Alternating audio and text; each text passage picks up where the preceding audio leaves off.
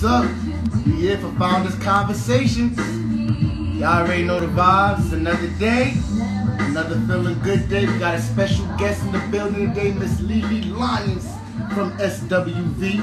Um, I need you guys to share this live and let's get her on in the building. If we're gonna get this interview started.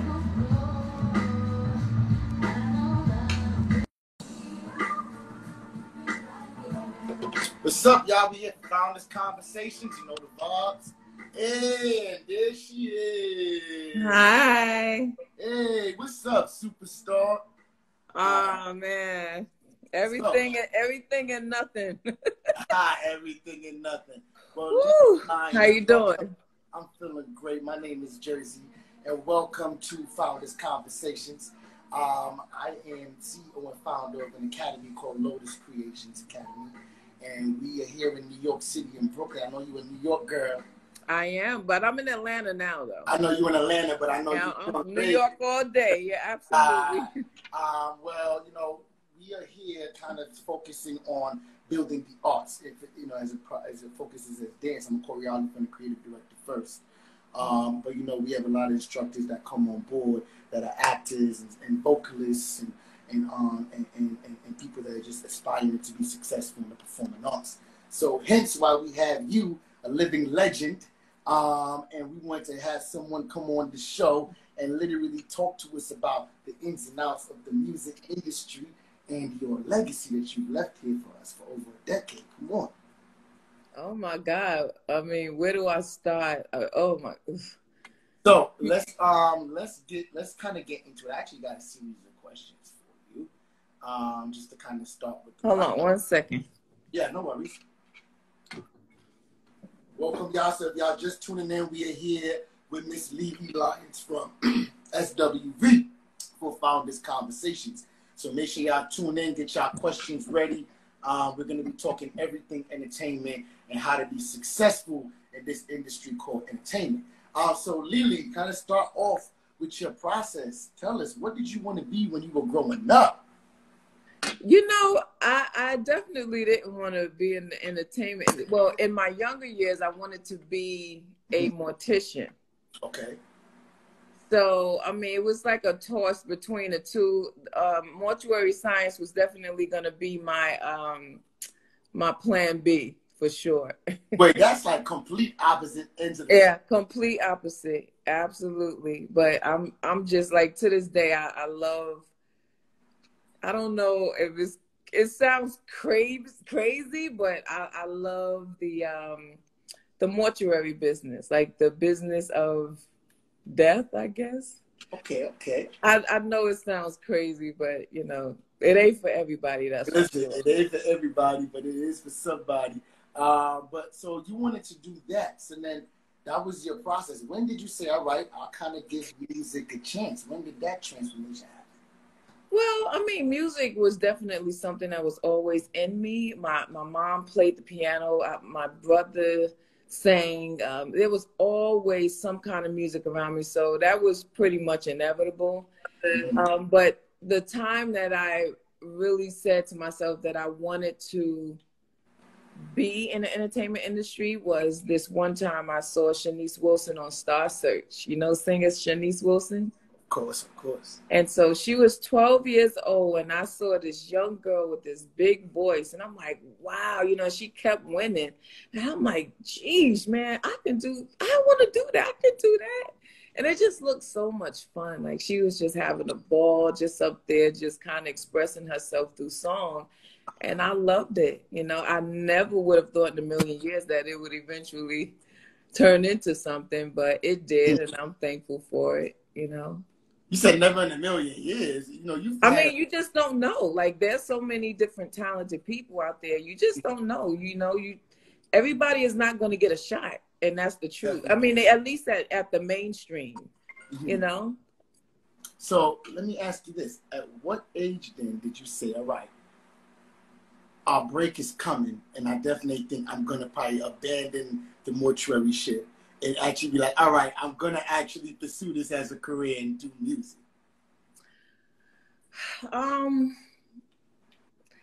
like I said, we had no idea what was going to happen. We were doing demos. Our demo eventually got in the hands of an A&R guy at RCA Records at the time.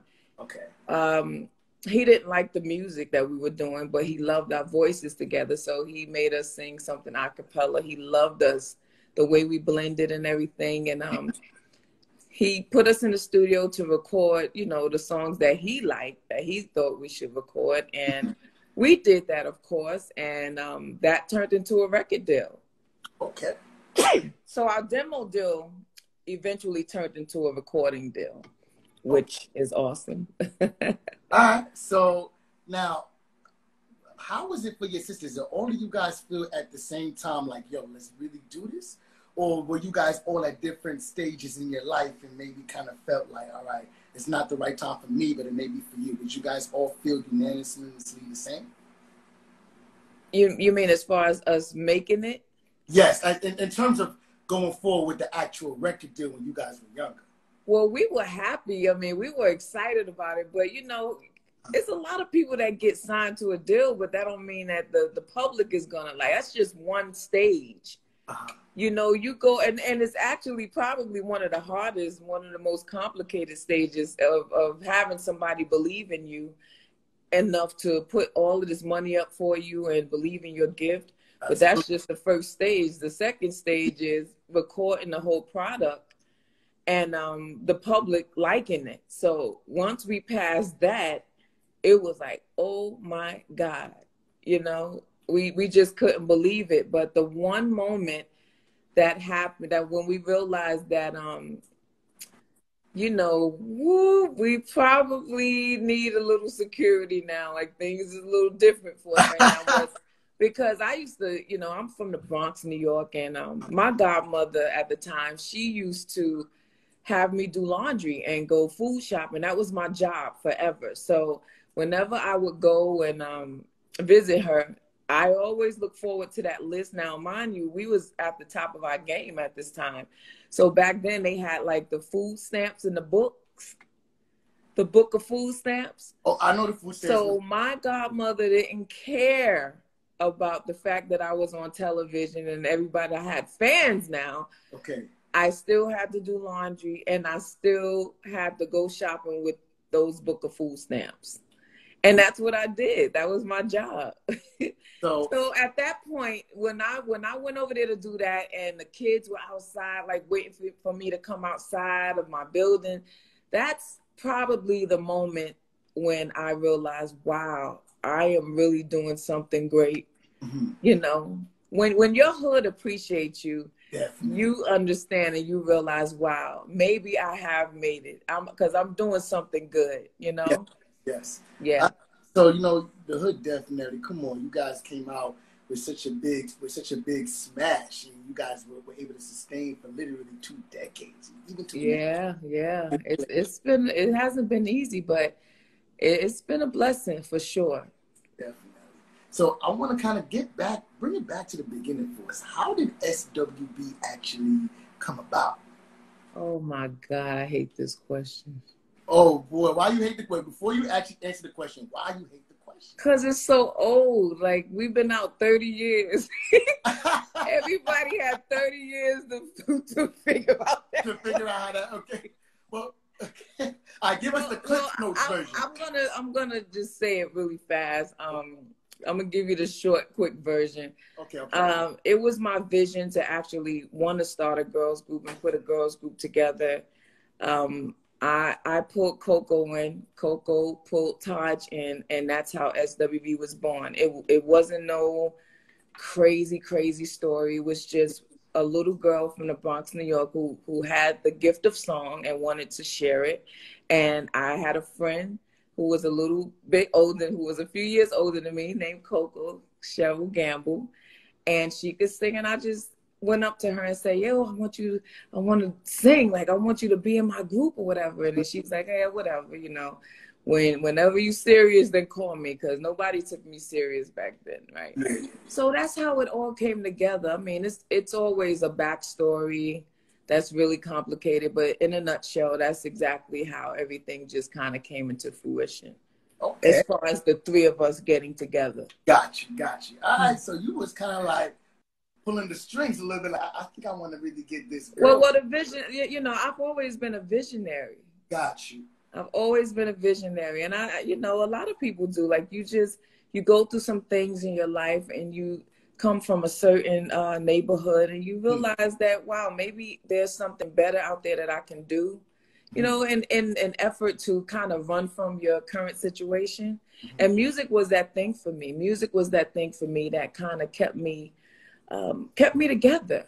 Gotcha. You know, whenever I would do something crazy or think of something crazy, um, music would definitely distract me from everything. It would put me in a in a very comfortable place. Mm-hmm. You know, I, I heard I heard you actually on a on an actual interview, and I heard you say that you are of the industry, but you're not really of the industry. Yeah. I definitely can see that it's music is in your soul and it's in your blood. You understand? Mm-hmm. You know, the industry is not necessarily what music is. You understand? So mm-hmm. talk to us about that. You know, how did you navigate through just kind of really finding your voice as an artist and really staying out of all the craziness that the industry actually was throwing your way? Ooh, I just think just kind of attaching yourself to the gift, to the music itself. I mean, wherever you go, it's always a bunch of chaos going on around you, but. If it's not in you before you get in the industry, it shouldn't be you when you get in the industry. I got you. You know what I'm saying? So a lot of stuff that happens, yeah, you know, you have the peer pressure thing and and you meet big stars and the big stars are doing some crazy things nowadays, you know? Mm. So, you know, it's always that sense of wanting to be a part of something and sometimes we don't choose to be a part of the right things. Absolutely. And I just happen to be one of those kids who grew up around a bunch of alcoholics. So liquor was never my thing. Mm-hmm. You know, I I was the kid that, you know, that jumped in front of knives and guns and mm-hmm. to stop adults from fighting and killing each other from from uh, drinking 150 proof vodka. So um, it's just never been my thing. You know, mm-hmm. I, I, just never attached myself to the bottle um, and and drugs. It's just I was always afraid that I would be that girl that would um, that you would see walking down the street naked, thinking the buildings are falling on me. You know, so it was that thing that just kind of kept me focused. Now I'm not saying I didn't do some things, but it that wasn't my thing. Gotcha. gotcha. You know, so I'm free of the drugs and alcohol, you know, and, and out of fear. Like today, to this day, they make fun of me because they like, well, just have one drink. No, that's how it starts. I have friends that had one drink and now yeah. they can't take the bottle out their mouths. Yeah, yeah, yeah. You know, so I mean, I don't, I don't knock anybody who have a, who enjoy a little taste every now and then. My as my mom used to say, a little taste. Mm-hmm. You know, so I mean, but just be responsible in whatever you do that that's it. You know it's it's all about doing things in portions and you don't want to definitely be that girl that wake up the next day with her her skirt down and don't know what the hell happened. You know what i mm-hmm. mean? And i never wanted to be that. Most definitely. So yeah. you know, so what would be your advice to give to people that want to pursue music career and that understand that you know in 2020 temptations come coming down a dozen you know out here. Even even even though it, was the same back in the day, but now there's social media, mm-hmm. which is now a gift and a curse because everything you do will now come to light. Whereas back in the day, it wasn't no social media like that. So what you did was for you and what you did. You understand? So what would be advice to you know people that have these demons that they have to battle, and now there's social media, and you know there's really no cleaning it up once it out once it's out there.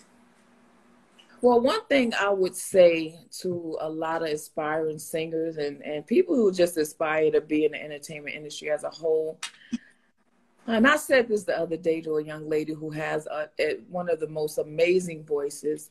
Mm. Mainstream is not for everybody. Everybody is not going to make it to mainstream, but that does not mean that your gift is watered down everybody want to focus on the whole mainstream side of things when there's a whole other world out there full of music lovers that's underground Absolutely. and to me mainstream is the hardest place to stay i would rather have a hundred thousand loyal followers, people who really tune into what I'm doing, and we connect in, in a way that nobody can disconnect us. Then go mainstream because as soon as that light dims for you in mainstream, they're gonna go on to the next person. So they only stay around a little bit. You know what I mean? So I want to just encourage a lot of the different artists out there. Just explore your gift. Get to know the music business and understand that everybody's not going to get to Beyonce's level. Mm-hmm. Everybody's not going to get to Rihanna's level. It's just not going to happen. Okay. It, it, it, it, this thing is like the lottery. Okay, got you. You know what I'm saying? Everybody is not going to get that shot at got mainstream. But that don't mean that you're any less talented than a mm-hmm. Beyonce or a Rihanna. It does not mean that. And a lot of people I talk to, they get so discouraged because they want to get to the top. You know what I mean? And and of course, that should definitely be your goal, but your top may be right here. Absolutely. And not right here. Absolutely. You know what I'm saying? So don't feel like your gift is watered down just because, you know, you're not um, mainstream and the majors are not checking for you. Because let me tell you something. I was signed to a major label and everything comes with a price. Mm. Everything is not always what it seems. Believe that sometimes you may have to be the dopest singer in your community. Sometimes you may have to be the dopest singer in your church. Mm-hmm. As long as you have people that support you and appreciate you, then then you're good. You you are you just as much of a superstar than the Beyonce and the Rihanna and the SWV for that matter. you know, so don't feel like your gift is watered down. Just keep going just keep going because when it don't happen for you a lot of people just kind of take that personally and then they start doubting themselves they don't believe in themselves anymore. And that is so far from the truth man. I, I hear some amazing singers. So let me ask you this LeLee. Uh-huh. um, how important is the look? How important is the full package? I'm a creative director i'm a visionary i'm, I'm a choreographer you know, so you know, when I when I think about a, a, modern day artist, if you don't come with the full package, you got to know how to sing, you got to know how to move a little bit, you got to know how to play to that camera. If the camera doesn't love you, you're not able to produce content that is just past the vocals, right? Mm-hmm. Um, how serious and how important is that in order to make it to the superstar level, right? Talk about that This is where it gets complicated because um, I don't feel like there's a package. And one artist to this day who really exemplifies everything that you're saying right now is her. Definitely. She came out as a complete mystery because she got so sick of people telling her what she should look like. Oh, you have nice boobs. You need to do this. Oh, you have beautiful hair. You need to look like this. But that's not what I'm about. I'm a, I'm a musician. I play over five instruments and I can sing. And I have something that I want to present to the world that's authentic. That's me. Mm-hmm. So I don't believe you have to put on a leotard and a bustier and all of that stuff. That's how we're brainwashed. Mm-hmm. Our community is so brainwashed because we have these these um I'm trying to find a nice way to say it. You know, these, these homeboy executives who don't know what the hell they're doing. Hmm. You know, a lot of these guys get on because they friends are, have have very um, popular positions in in the music industry, and they hmm. don't know what they're doing. They just came out of jail, so mm. they put in a position of of A and R or whatever it is that they're doing. They don't know what an artist should look like. And I don't think that's for everybody. And I'm not knocking that artist who want to be sexy, but as long as that's you, mm-hmm. then I say go for it. If you're the type of person that like to wear sweatpants and a t-shirt, go on stage with sweatpants and a t-shirt mm-hmm. because at the end of the day, you have to be comfortable within yourself. Okay, okay.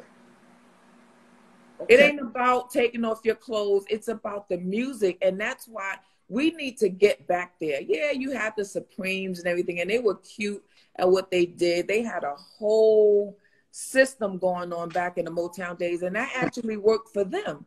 But mm-hmm. that's everybody is not a Supreme. You have some singers who don't want to wear dress, and they should be able to go on stage anywhere they want to. As long as they have that gift and as long as they pick up their guitar and play, real music lovers connect with the music. It doesn't matter. You could turn the lights off, and if you hear a chord, somebody play a few chords on a guitar, you feel that. Mm-hmm.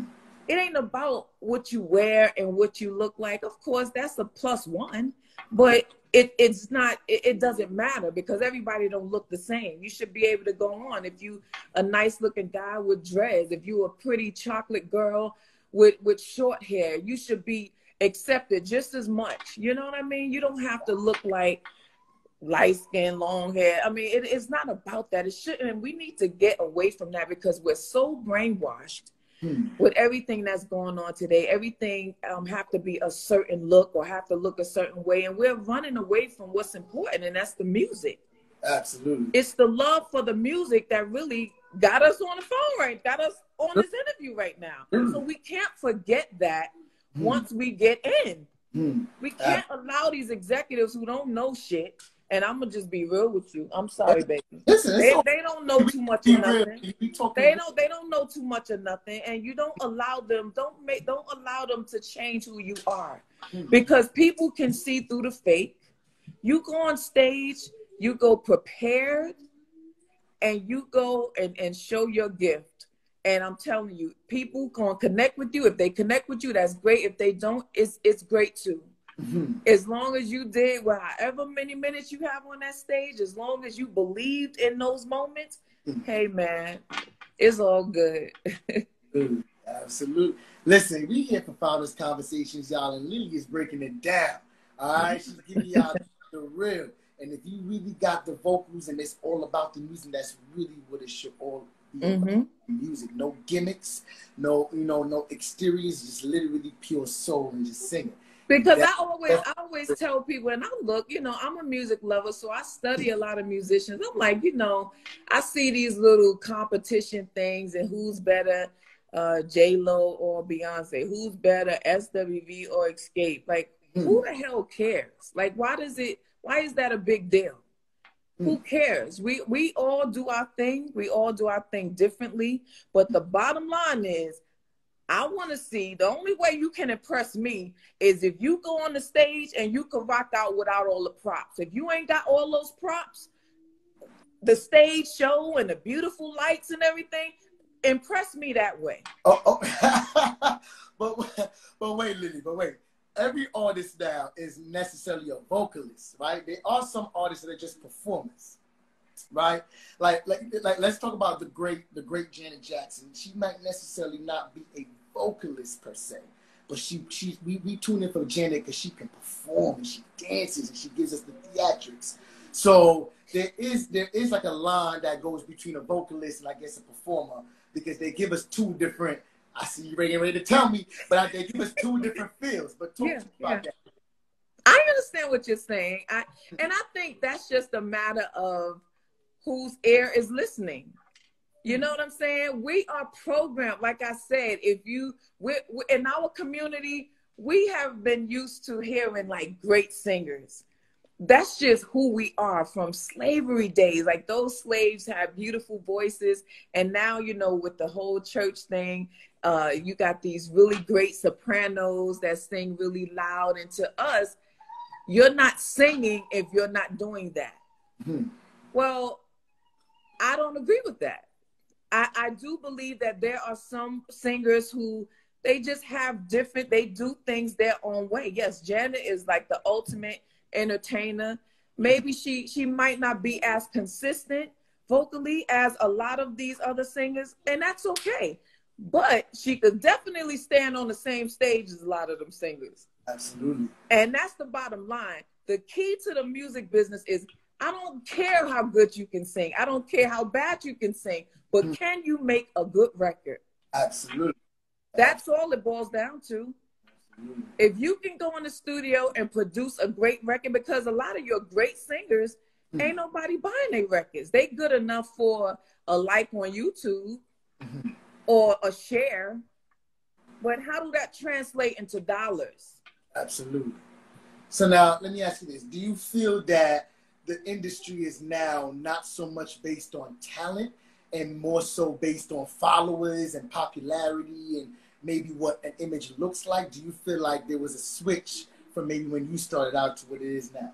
Oh, absolutely. Like it's so different now. Now uh people have more access to you than ever. Back in the day when we came out in the early 90s, people had to literally find you and get an interview. Like it wouldn't be this easy. Like I would have to meet up with you and you would have to meet up with me. yeah. You know what I'm saying? And then that's how it was back then. But everybody have so much they have so many options now. So that's what it is. It's not that you know, um, one artist is better than the other artist, but I think we just so consumed with these celebrities, mm-hmm. it just makes me sick. It, it really does. I, I, never really looked at myself as a celebrity because I've, I've always been disconnected from the industry in that way. But I just think we so consumed with how everybody else is living, how many jet skis Puff Daddy is is by, and then his why why are we spending so much time wanting somebody else's life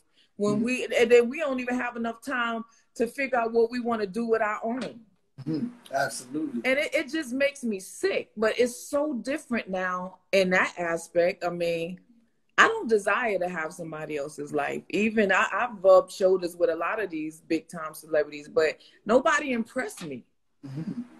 you know who impressed me smokey robinson Hey. Uh, um, people like that. Um, Maya Angelou impresses me. People who have been through the dirt and came up some kind of way.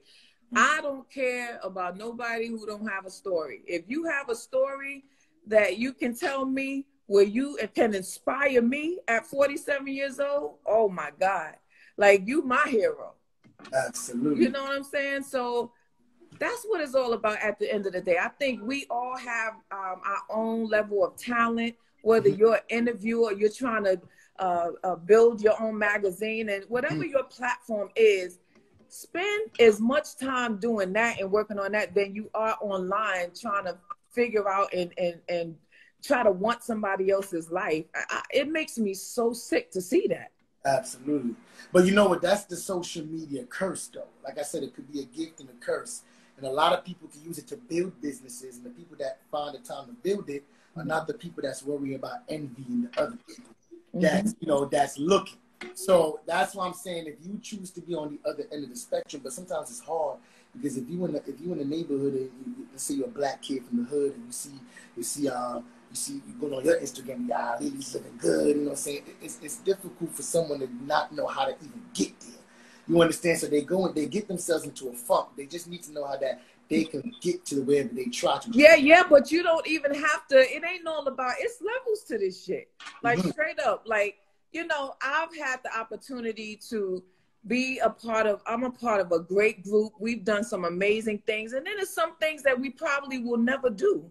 You know, I mean, we sold over almost 30 million records. But you know, the industry probably won't ever recognize that because we ain't eating nobody's ass or doing some crazy. And I'm sorry, like I have to be real because be real, be you know, everybody just kind of do their thing differently. So I just feel like you should just do whatever it is that you desire to do. Mm-hmm. And and that's that's what I feel in my heart. You know, it's not about um you want to create a vision for yourself. And there's a there's a um there's a, a scripture in the Bible says where uh, without a vision the people perish. Mm-hmm. And I think I don't think a lot of us really pay attention to that. We don't really think about us as much as we aspire to be somebody else in a day. Like it's okay if you if somebody uh on your timeline and you look at them for inspiration yes be inspired but don't stay there. You know what i'm saying? Like i tell people all the time i have people say oh man i wish i had your car. Like this is my dream. I said you can have it. All you gotta do is be able to pay a car note. I'm, I ain't got no extra stuff that you so i don't make people think that they can't have certain things Every day we are supposed to inspire somebody.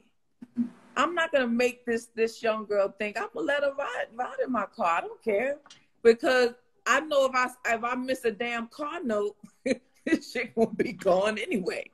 You you know what I'm saying? So I, I just feel like it's um look look at people for inspiration of sure for, for sure, but your date night or your um your mainstream may be and I and I'm kind of ahead of myself because I'm thinking about a time where um I was having a conversation with this young lady and we was talking about dating and they were saying how they wish they could do this and do this, do that with their boyfriend, but they can't afford it. I'm like, look, do you know what I do for date night?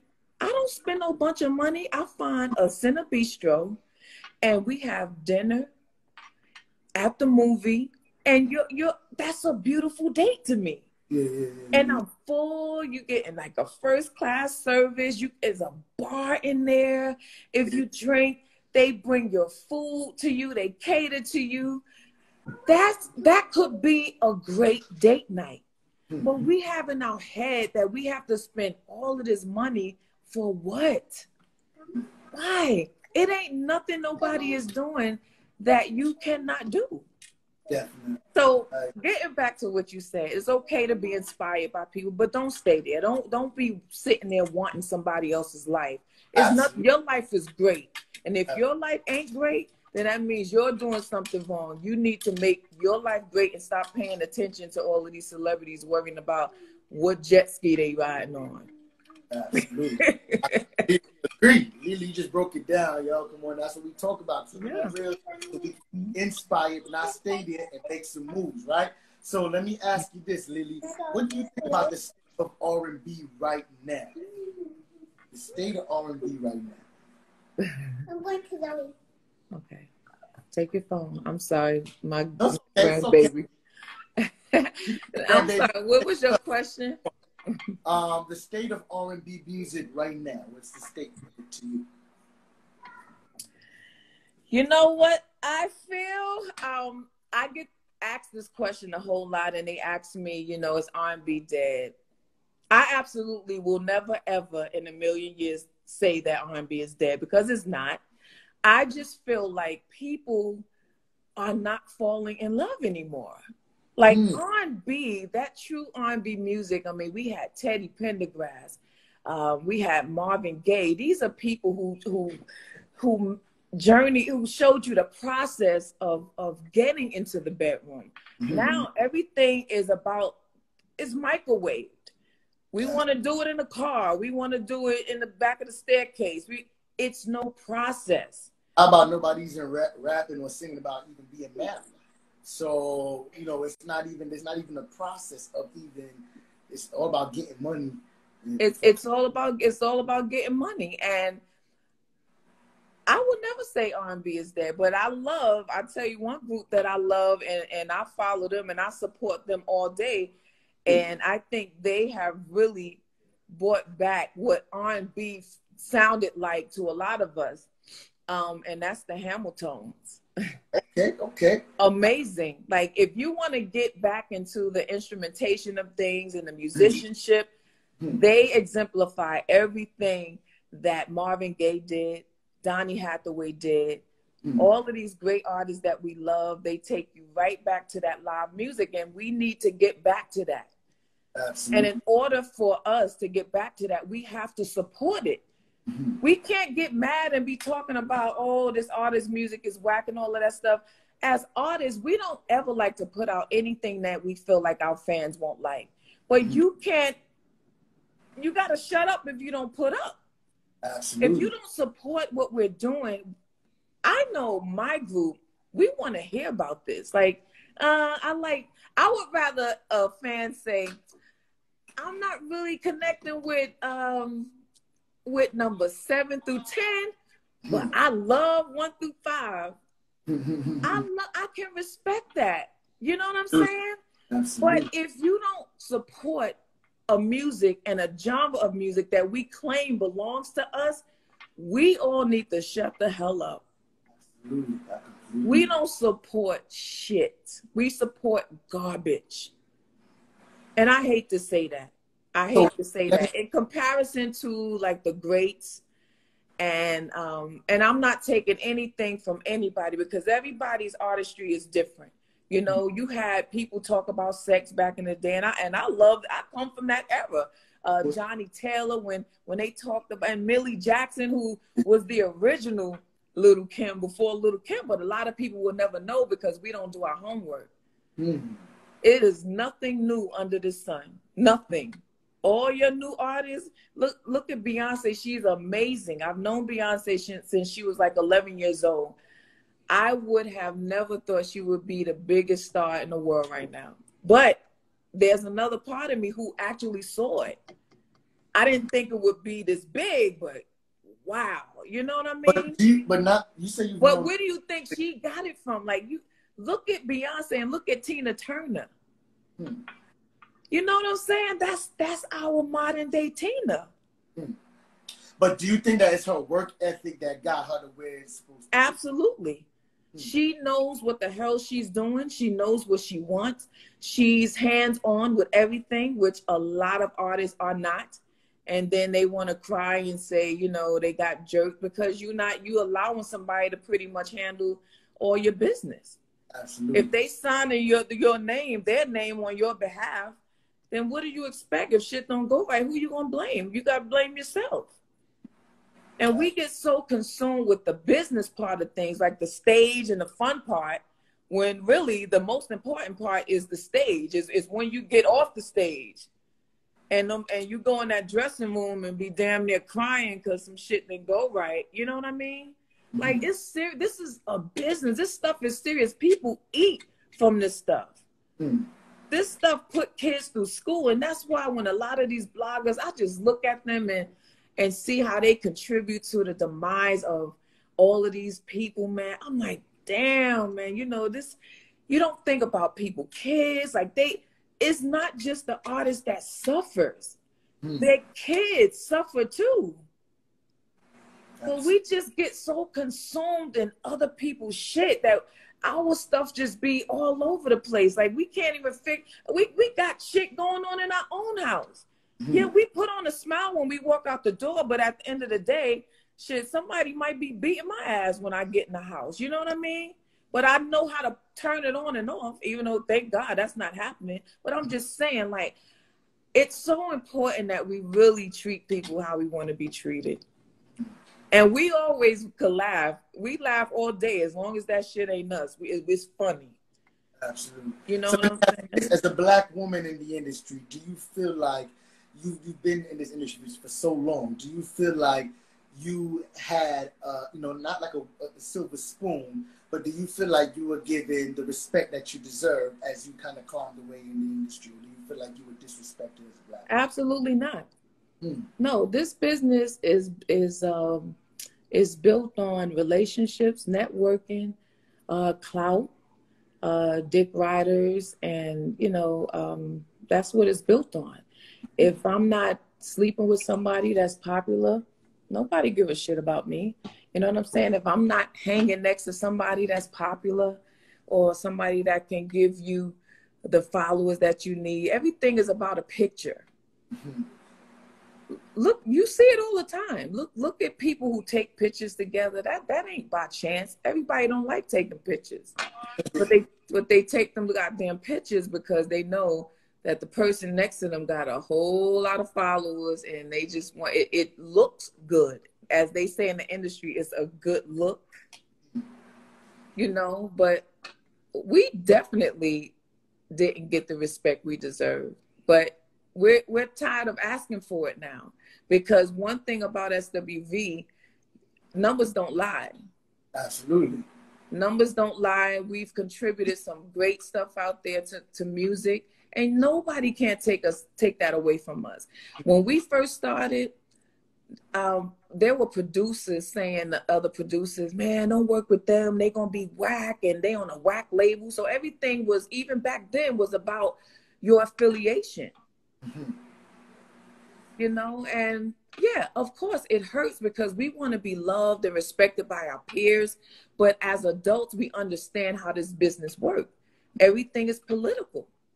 It's political. So do you think because you guys remained a group is why it's hard for them to really pay homage because there is something about them the industry respecting groups and you know because everyone breaks up you know there's always someone that becomes the beyonce of the group or you know whatever the case may be but there is something about paying homage to groups and you guys literally have stayed together from the beginning all the way up until now well we we had a a, a a moment where we disbanded but i think it was the best thing that that could ever happen to us because we got into this business as young girls as kids Mm-hmm. And, you know, sometimes when you transition into a grown woman or a young adult, you change. Sometimes you don't vibe with the person as an adult, but as kids, you think as kids, so you do as kids do.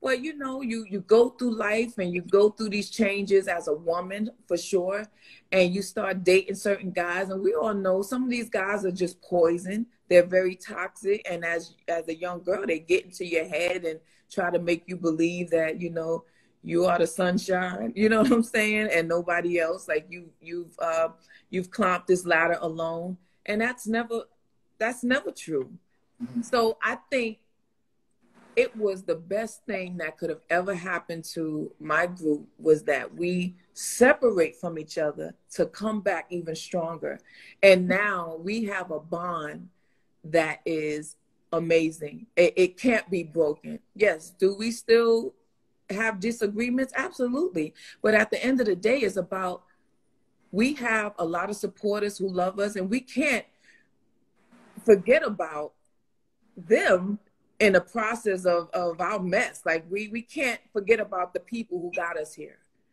And that's one thing a lot of people forget about. We forget about after a certain level of success, you just start thinking fans just don't mean shit. And I, I, I totally disagree with that because I don't take it lightly that our supporters have got us here and they've kept us here. It's to the point now we can't even make a new record because they don't want to hear that shit. They want to hear weak. I'm so into you right here. And I used to be like, damn, why they Well, I don't know. I don't know if they don't want to hear nothing because somebody actually just dropped in the comments right before when I took it off the screen is SWV coming out with any new music. So you can actually go ahead and let us know that while you on that topic. Well, with SWV, we're working on a lot of different things and just trying to keep it fun.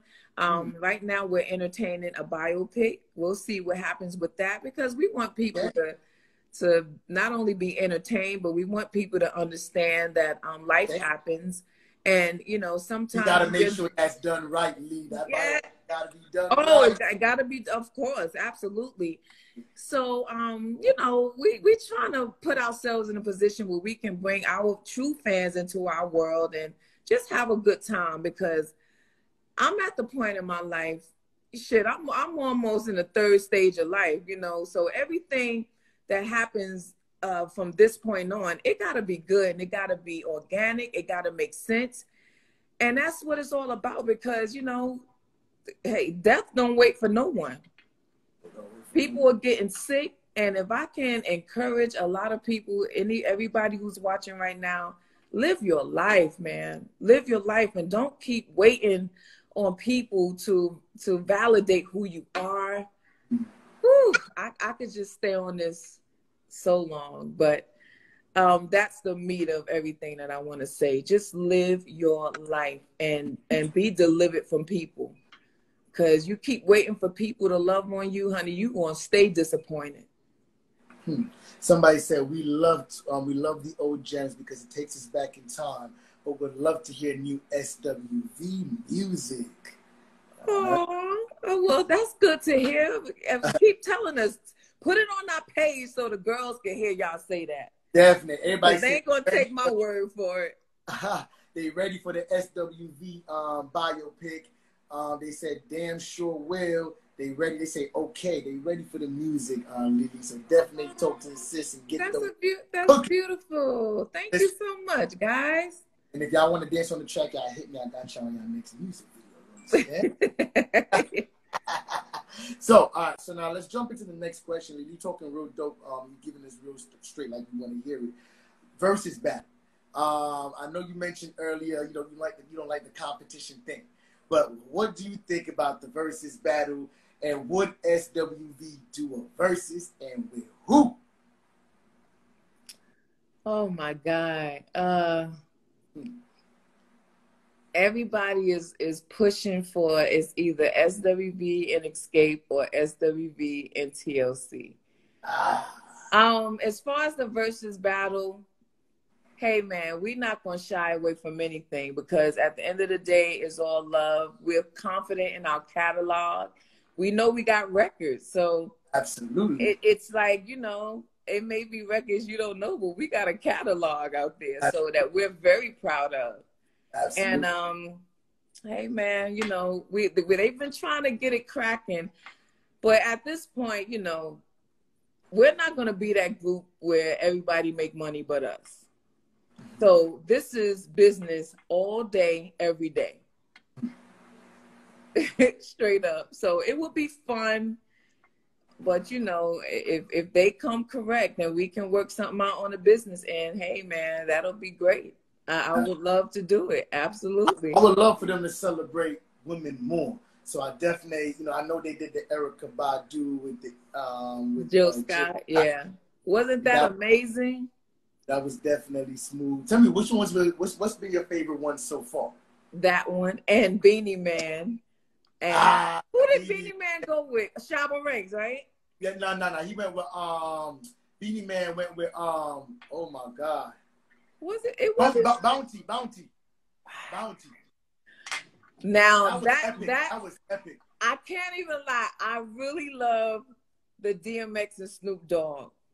That was dope. I love Snoop Dogg so much. Like at just kind of following him throughout the years and I just love authenticity.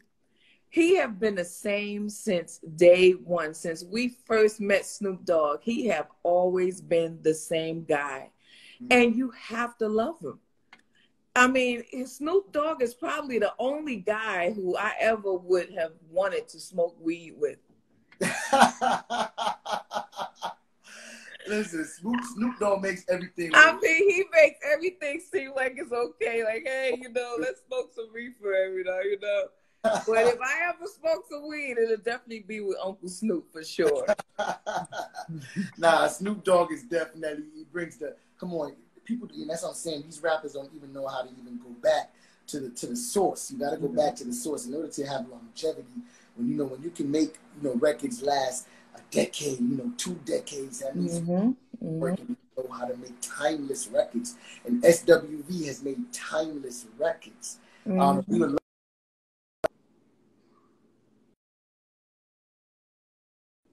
Um, um, now let's actually jump into, you know, wrapping it up with some of these last questions. I want you to talk to me about your book. I know you actually dropped a book. So, wait, say that again because the the uh, the computer just kind of dis. Went out. Am I back? Can you hear me good? Yeah, I can hear you good. It's a little delay on your end. Right. Now, I was saying, I was saying, um, talk to us about your book.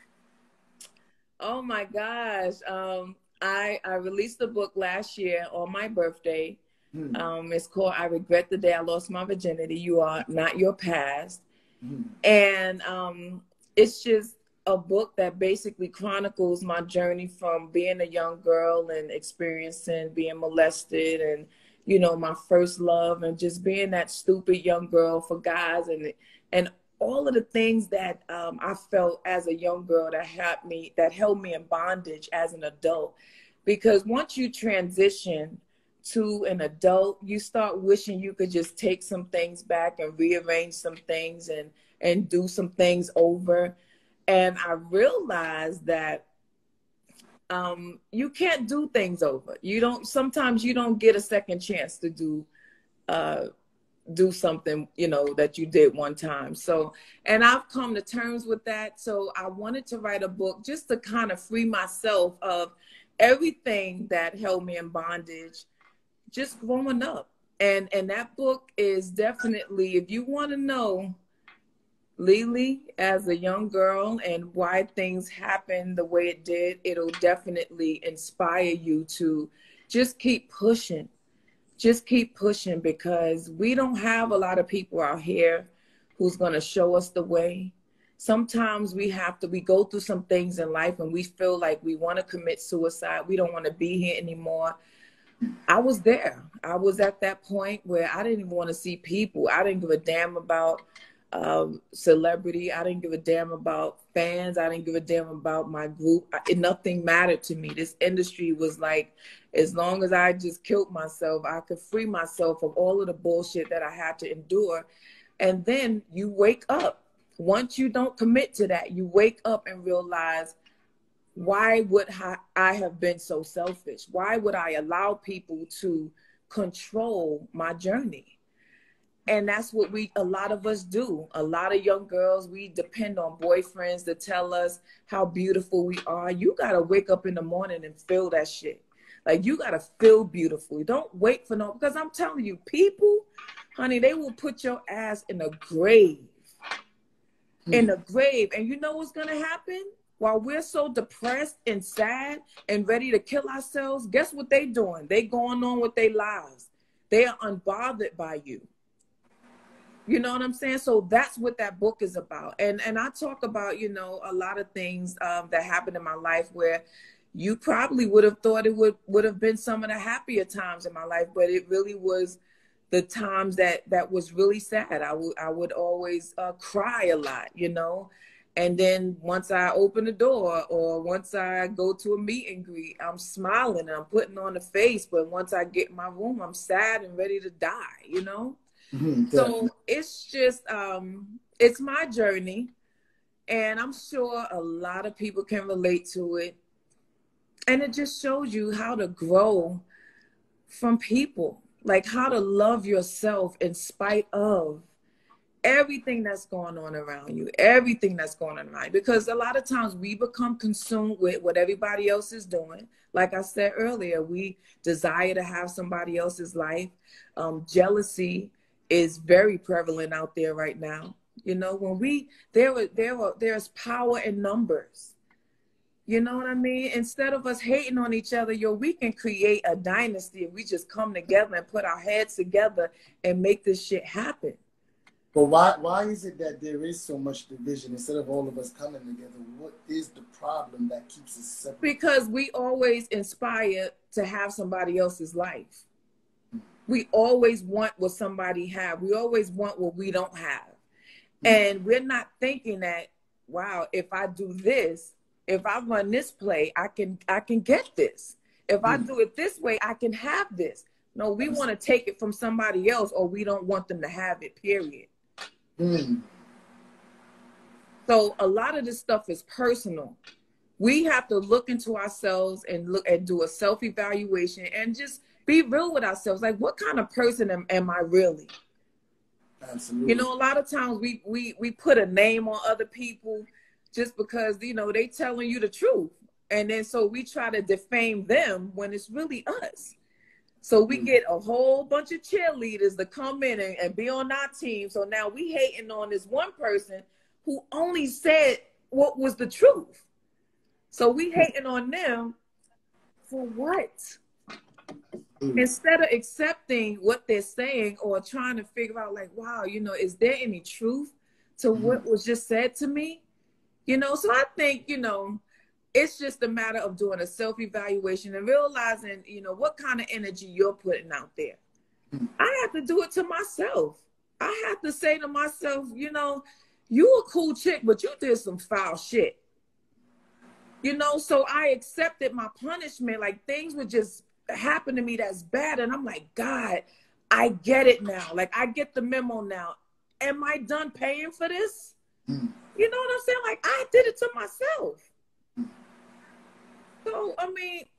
So now, so I heard you actually made a comment somewhere that says that you are not defined by all the mistakes that you've made, and you know, and this book was kind of you making all your mistakes and then kind of having a second chance to live life. Oh yeah. Talk to us about that and just your revelation that you felt when you actually made that statement. Well, you know, um, when we in life we do things um, that we really wish we wouldn't have done. We've dated people that we wish we shouldn't have dated, that we know we shouldn't have dated. But sometimes certain circumstances have you doing certain things. I talk about everything in this book. I talk about this one time when, you know, I was trying to my mother was about to get put out and I was actually going to go on the street and sell my body. Like it would this is some real shit. Like I'm hmm. not even talking about no superstar. This ain't got shit to do with no superstar, nothing, because my life back then was terrible. And mm. that's why I always tell the story whenever I get a chance, because I know I am a witness of how music can definitely save your life. You have to find that one thing that you connect with and and and let that be that very thing that take you away from everything that make you feel like wanting to kill yourself even sometimes you got to remove yourself from your mom and your dad because sometimes they could be your negative energy. Mm. But you don't have a choice because you don't have a pot to piss in. You're under their roof, but you have to find your space and create that space for you. Sometimes that space may be in the backyard. You bring your radio, you listen to your headphones, look at some some performances on YouTube or whatever it is, motivational speaking, whatever that is for you, disconnect yourself to things that are making you feel toxic. I'm mm. telling you, I'm telling you, we see this shit all the time. People are killing themselves doing retarded stuff, and we looking at them like, okay, what did I miss? What is really going on? Because we're not doing self evaluations. We're not being honest with each other. Mm-hmm. We're not telling each other the truth. Like, hey, boo, you doing you going the wrong route. You know what I'm saying? We're not doing that. We're, we're kissing ass. We're doing everything we're not we're not supposed to do. You know, we're not saving each other. You know, we we talking about each other so bad, and we're putting now. It's like, you know, public uh, social media. That people get on social media that don't even really like. They never really have a social media account because they know they're gonna see somebody's business on there, and they get a high from that. Absolutely. You know what I mean? People go so far as taking their own life on social media because people want attention. Well, now, let's bring it back to where we are with the current day. You know, with with with I'm not, you know, not to me to touch on politics, but you know, in the climate that we're in. Oh Lord. Right? How do you feel about, you know, just all the racial diversity that's been just happening in our country? and the Black Lives Matter and just everything that's just kind of been transpiring over the past six months. Talk to us about that. All right. Well, I'm going to just say this. I have to put this disclaimer. I am not a politician. I don't even look at the news because it puts me in a very dark space mm. that I don't choose to be in. I don't want to look at uh, the leader. I don't want to give him any views. and um, I just think it sucks. I think things have gotten so bad right now, and I have never been faced with so much like racism and hate. Wait, hold on one second, lady. My timer is telling me a minute and 54 seconds. Okay. I want you to continue. Do you want to come back on and finish your statement? That's fine. All right, so let's end the sta- um end the live now, and I'm gonna jump back on. And okay. Okay. Everybody back in. We here with Miss LeLee Lyons. All right, everybody tune in. Okay. What's up, y'all? We back. Uh, we're gonna jump back on with Miss LeLee. We having a conversation. She's talking real stuff. Welcome back, y'all. We here for Founders Conversations. And we got the Queen LeLee Lyons in the building. Hey. All right, I'm gonna get the music down, and then we're gonna get started. We're gonna get Miss LeLee back in the building. So let me see where she. We're gonna get back in the building. We're gonna start it. Welcome y'all to Founders Conversations. Listen, if you're not following us, make sure you follow us. We are Lotus Creations Academy, and we do this pretty much every Thursday and Saturday if there is no interruptions. This is Founders Conversations, and today we got the Queen LeLee Lyons in the building. Um, so we're gonna get her back on here, and we're gonna continue the conversation. Um, what's up, everybody? We getting LeLee back in the building. How y'all feeling though? Conversation was getting real, right? Conversation was definitely getting real. Hey Mel, by the way, you guys, if you guys have not been tuning in to American Black Film Festival, ABFF, please make sure you guys do that.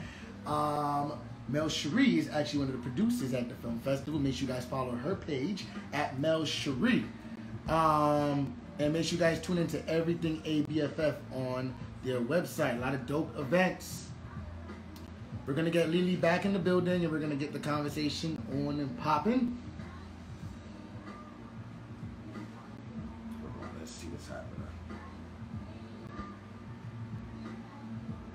How y'all feeling today? Drop in the comments below. Y'all enjoying the conversation? Hello, please ask her question, her better questions. Taj Manny, I will surely ask her better questions, no problem. you know, how much better questions you want to ask her? She's already going on. All right. All right, we're to get her back. No worries, Mel.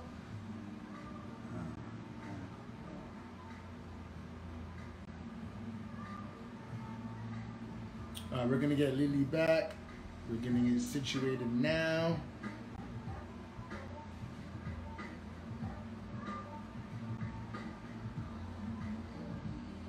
Come on, she's been speaking a lot of real facts, y'all. A lot of real facts.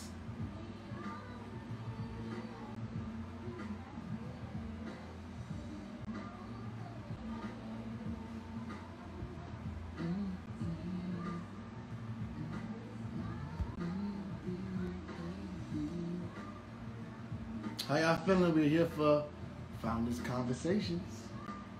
Have you guys been following us? If you haven't, make sure you do that. Have you guys been on our website?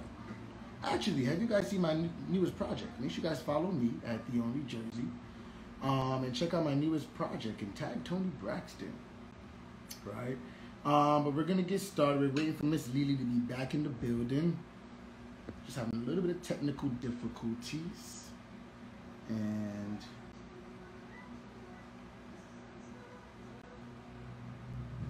then we're gonna get back into the flow of things. Artists go broke. Ask about that. How was her relationship with Coko? What did she lesson from her relationship with Ed Lover? Hi everyone. How's your Sunday? Yes. Melanie, how is everybody's? No, today's not Sunday. Today's Saturday. Today is Saturday. um, how's everybody's Saturday going though? How's everybody enjoying quarantine? Oh, alright, so I see LeLee in the building. And we're gonna get her back on the live and back into this conversation. Found this conversation. Back. Hey, we back. Yeah. All right, all right. Brief little detour. Instagram times us. They only give you an hour. So Yeah. So I was just like, It didn't even seem like we were on. Can you close that door? Oh, okay, okay. It didn't even seem like an hour. mode right now. Huh? You on grandmommy mode right now? I'm on grandmommy mode right now. Listen, but that, that's the beauty and the interesting about quarantine now. You know what I'm saying? Before we get back into the question, I see I see grand grandbaby in the background. Oh. I rented, but you working at the same time. I love it. Mhm. It ain't like how it used to be back in the No, day. yeah, you, you gotta do what you gotta do. You gotta do what you gotta do. So let's kind of jump back into what we were talking about. We kind of touched on um, just the segregation and, and us kind of growing as a culture and into politics. And, and, you know, just kind of refresh your memory. So, you know, just if you want to jump back into that. Well, it really the, the state of where we are right now. It really breaks my heart. I've always read about racism. I never really experienced it hands on. Okay. It it just makes me really it puts me in a very dark place. Um I really I just feel for our country. And I hope that everything just get to a place where we can exist in the world together because we don't have a choice. We don't have a choice. I just think God is really exposing hate, like good and bad. You know, he's really exposing bad people. And I tell you one thing that made me so happy. What made me happy was that I've been seeing a lot of, you know, with the protesting and the marches and how us as a community, and when I say a community, not just uh, black people, but just people who are all that coming together for one cause collectively have really stood their ground unapologetically. Like you have, you know, the white people marching with the black people and the Asian, like everybody who do not believe in this stuff and wish it would go away. People who are not for the hate, people who are not for the racism. I love to see everybody just kind of come together and just stand up to those people who just they're just so hateful, you know. But I just I cry out for this country. This country is we have never been so disrespected. You know, I have friends all over. I have uh, people that I speak to from the Philippines and the UK, and they're like, man, what's they used to have a certain level of respect for the USA, and it's it's just gone. Like they look at us as a joke now. So, you, you traveled the world. You understand? Because you, were so you know blessed to do music and travel the world. Mm-hmm. You, know the reputation that America had, um, and you know, and you you being a part of the industry, and Trump being, I guess, a part of the industry. That's what he is. He's a, he's a, he's an entertainer. You understand? That's playing the role of the president at Mm-hmm. Uh, you know, what are your thoughts on just the division, you know, that he just really created? And, you know, if you knew him before, how different he is back then to what he is like now? I don't think he's different. I, I don't look at him as a president. I don't respect him as a president. I mean, I I don't respect the things that he say as a leader. And um, I mean, I can't give him a bone. I, I can't because if we had to, if he was just any other guy, if you just kind of take away the presidency from him, and he said a lot of the stuff that he said, we wouldn't be his friend. He wouldn't be somebody that we would have dinner with or fellowship with or break bread with. So why do he get a pass? Because he's a billionaire? He shouldn't get a pass. He's a nasty individual you cannot see all of this hate, all of this killing, and and the things that's been happening to our black men, and think it's cool when you just you know it's just another day for you. There's no fight for you as a leader, as an individual. He's disgusting. Fuck the presidency. He's a nasty motherfucker. And normally we wouldn't give we wouldn't have friends like this on a regular day. He would be the guy that your mom would say, "Oh, I don't want you hanging out with him," you know. I just don't like his his name on my tongue. I understand. He, he's not worth it to me, and um, I just I just think he sucks. So now, I, and I'm not saying anybody else is better, but I'm sure somebody else is better than him. He's just a nasty individual. Absolutely. Now, how? Now, tell me your thoughts on Kamala Harris and her jumping on the Democratic Party with um with Joe Biden. How do you feel about that? I don't have any feelings. Like I applaud anybody who, anybody in our community who make who make history I'm gonna always applaud that. I don't give a damn about the politics at that point. I have to separate the two. Because you're doing something that a lot of people won't even have an opportunity to do. And and just like I was telling you earlier, like everybody won't be able to get to the mainstream. So when somebody finally reached that plateau of success and you're like, wow, you know, next to one of the highest positions in the world, it we we have to celebrate that.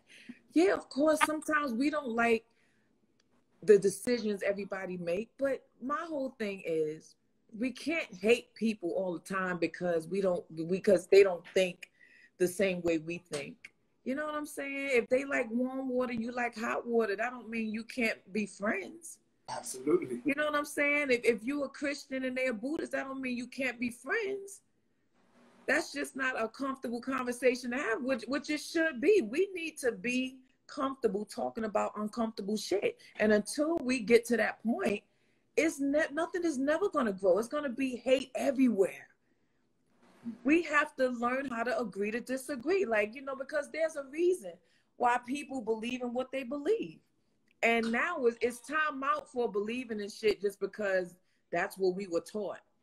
Yeah, that worked when we were kids, you know, but now, you know, as adults, we really have to choose our candidates based on what who falls in line better with our lifestyle.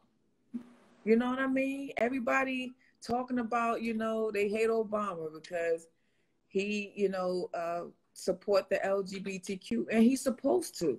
He's everybody's president. He ain't just one group of people presidents. They deserve God too. They deserve rights too. Like, I mean, how selfish is that shit? You know what I'm saying? So I have family members who want, who need um assistance from the government. Shit, I will vote for that alone because I want. I, I feel like they deserve that. Everybody don't abuse the system. Some it's just hard as hell right now for a lot of people. So I think if it don't fall in line with what you believe and what your life is like, then leave it the fuck alone. Like don't even waste your time just and energy giving it that much airtime because you could be focusing on shit that that that falls in line with how you want to live.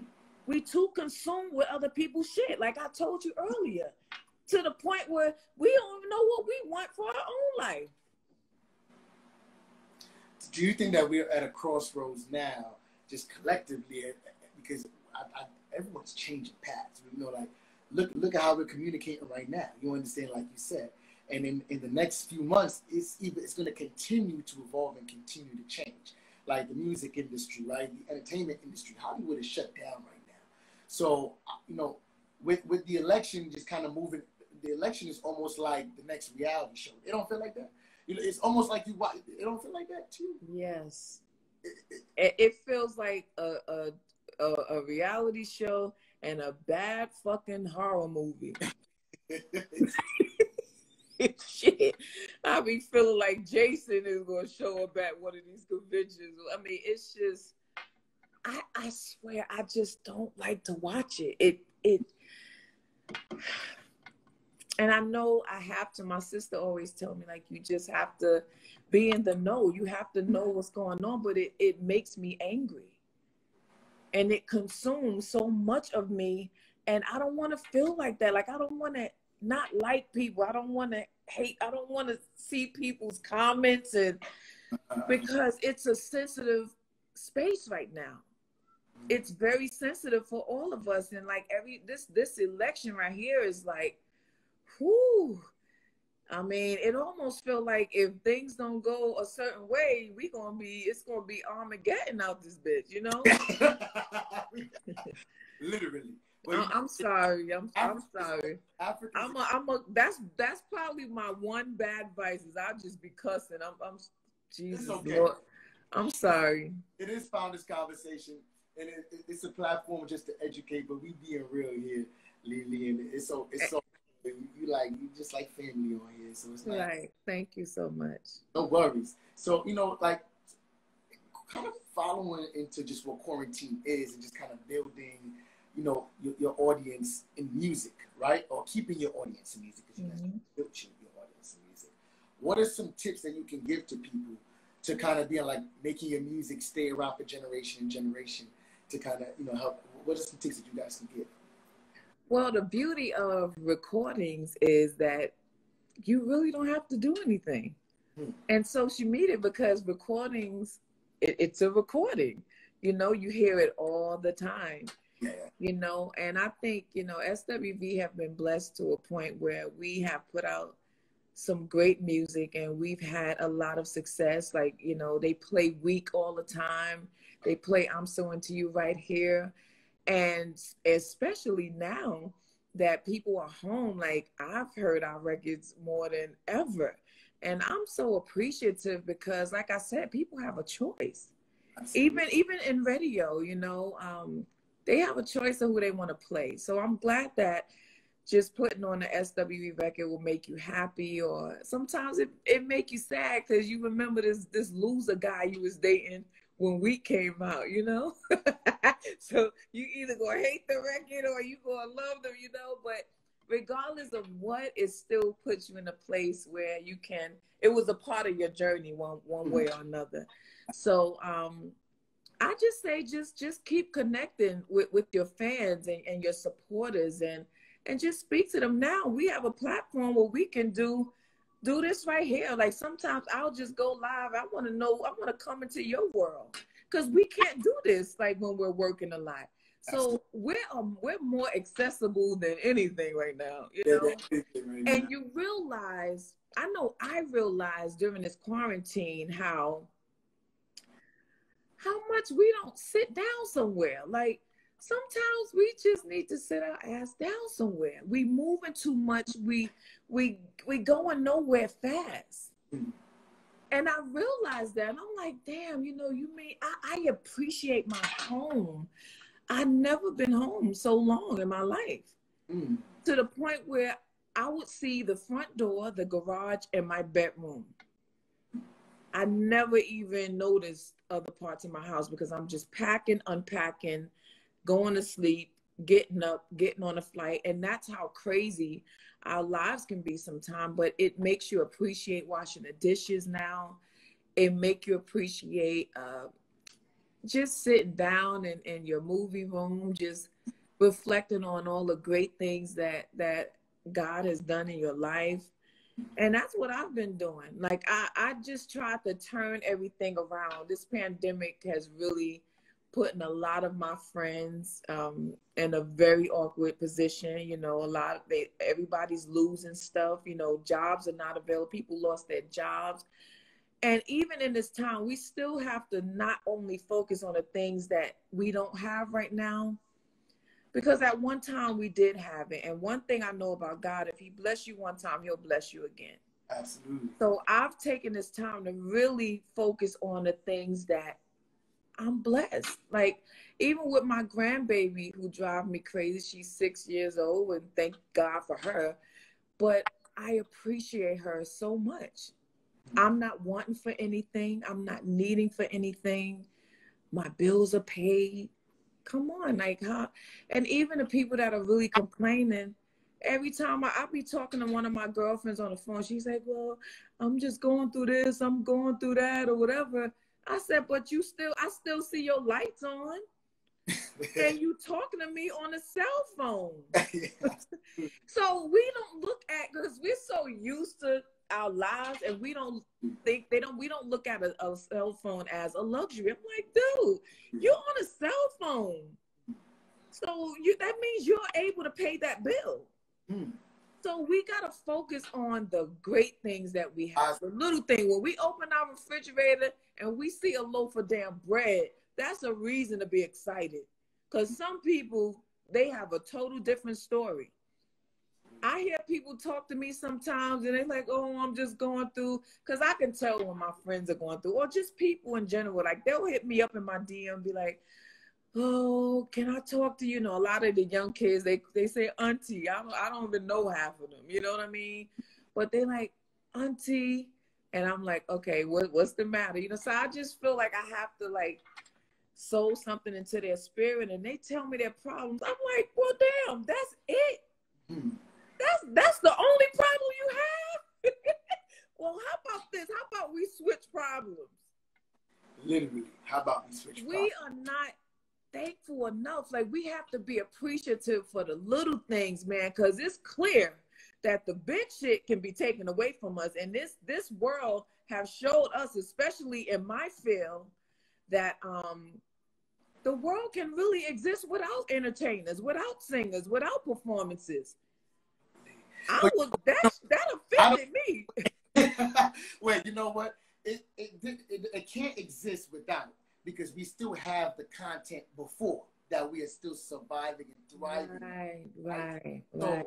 it's we love. Listen, we I don't even listen to nothing new no more. I, I turn on SWV.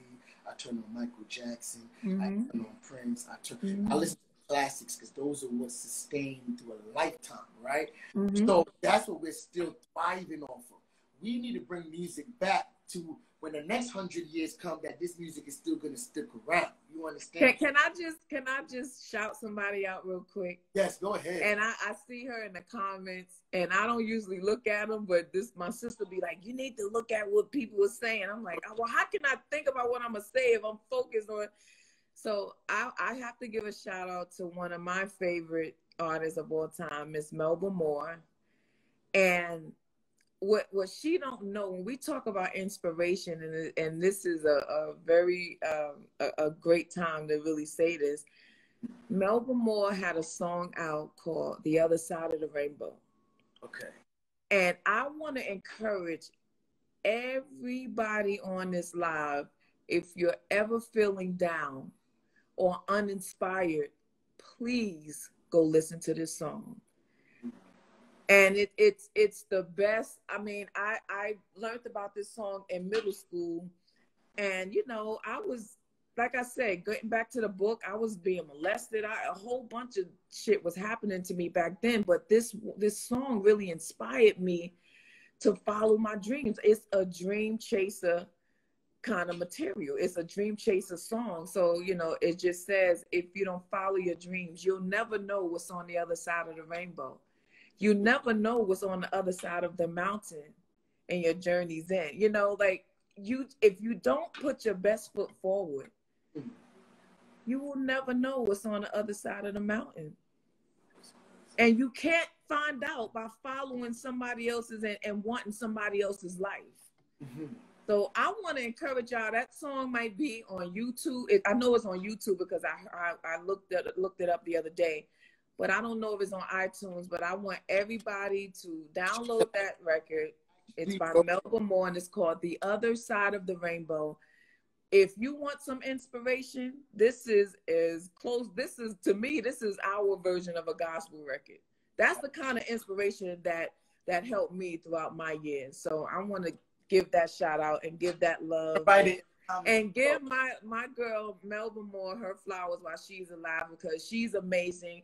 And it pisses me off how we just totally forget about the people who were here before us. But I'm gonna create my own platform where I I am gonna allow artists that I love to tell their story and just have fun telling it because Melba and I, I've, I've followed her journey and we've experienced a lot of the same pain and a lot of the same hurt. And look, she's amazing.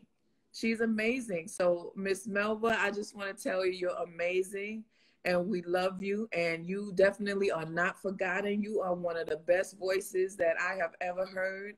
And I will continue to support you as well as all the other artists who inspired me because it's just it's so crazy how when I hear younger artists today, they don't know nothing. I'm like, you don't know this person? Are you do you know this person is doing this because of this person? So I just wanted to put that out there. Yeah, how important is it just doing your research, right? Some people don't even know who Whitney Houston is. They don't know nothing. They don't know. They don't know nothing. I wouldn't even put out an artist unless they know certain people, because you have to be able to have these conversations. You have to. Period. Now, have you been watching? Have you been keeping up with what's going on in entertainment? Um, um, just a little bit. I, I just, uh, I've been watching here and there, or I'm around people who talk about it. So, You know. Well, uh, Meg Thee Stallion actually just came out and said that Tory Lanez shot her, so she actually confirmed that. Uh, you know, what are your thoughts on that? And just just stance on just black women not being protected out here. That was basically her message. So that's what what LeLee got to say. Well, I, I one thing I have to say is that I don't know what happened in that car, but it just reminds me of the young girl that I used to be, that I write about in my book. We choose a lot of the wrong dudes. We give our space and our time to people that don't really deserve it, and that's all I can say. Like he clearly, if he feel the need to have to shoot a young lady, come on now, like I mean, it, it pretty much speaks for itself. Like you, you don't get no. I mean, that's coward behavior, and I hate to say that, but I mean, it, it's true. It's, like, it's no girl. No girl is no threat to you. Absolutely. Like, what do you? You got a whole bodyguard in the car. What? What is he doing?